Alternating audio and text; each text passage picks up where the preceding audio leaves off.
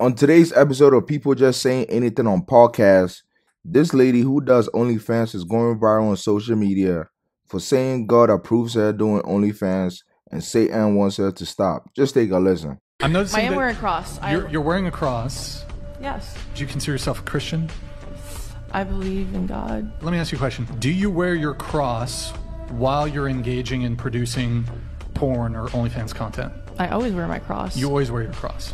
I never take it off. Do you think that God approves of you doing uh, porn, basically? Yeah, it's not hurting anybody. I do it very safely. Do you think God wants you making porn?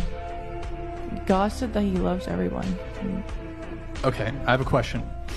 If God wants you to be a porn star, what do you think Satan wants? To stop doing what I do. I guess.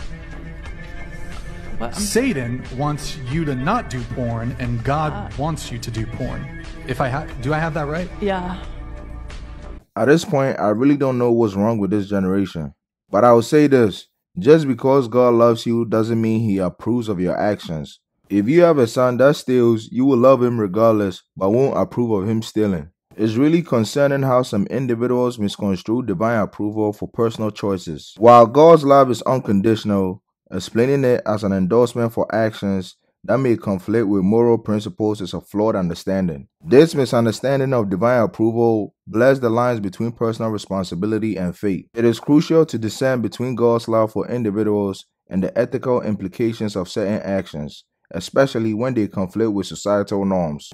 This instance underscores the need for a balanced perspective between personal beliefs and societal expectation. It is really essential to differentiate between individual choices and attributing divine sanctions to justify those decisions. But do whatever you want with this information and let me know what you think in the comments down below.